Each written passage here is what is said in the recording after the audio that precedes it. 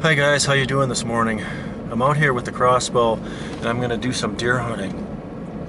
Uh, I still got a buck tag left, so uh, and I seen a buck in this area uh, about a month ago, and uh, I hope it survived the deer gun season.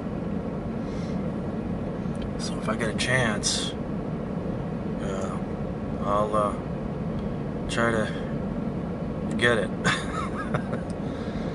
So, uh, or I might get a bunny if I see one, snowshoe rabbit if I see one along the way. So stay tuned.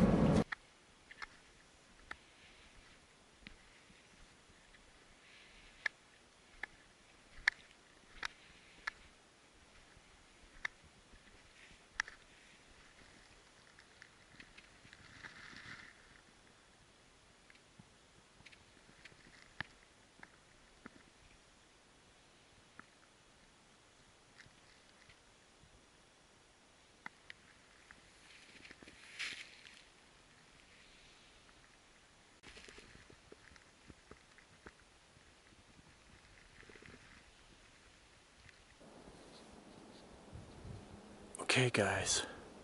See where the deer were looking for acorns? They were digging around. I was looking for acorns too uh, a couple months ago, and uh, it was a bad year for them.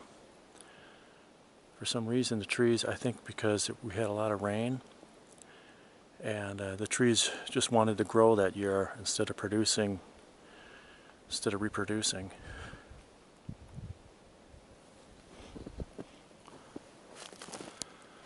Why do those guys always have to have those red tags? See that? I see those red tags all over. You know, it's stupid. What are they going to get lost or something? Look at them, they're all over in here.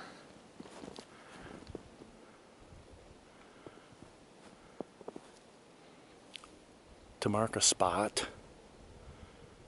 I mean, if you're that if if you get that lost and confused, and this isn't even a big woods, you know, I mean, why even be? Why even leave the yard? Oh look, there's a trail cam.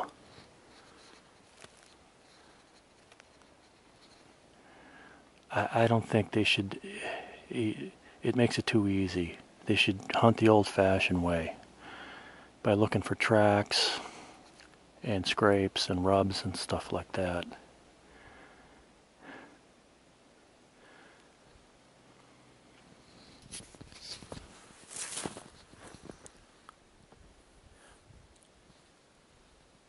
Okay, guys.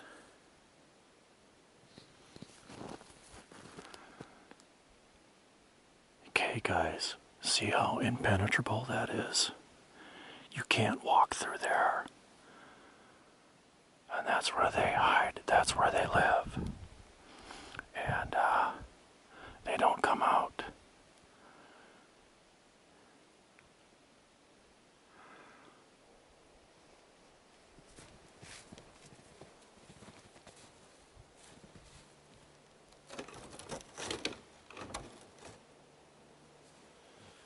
Okay guys, Thanks for joining me on this little nature walk and hunting trip. Too bad I didn't get anything. We've seen a lot of tracks, but uh, that's just the way it goes. See you real soon.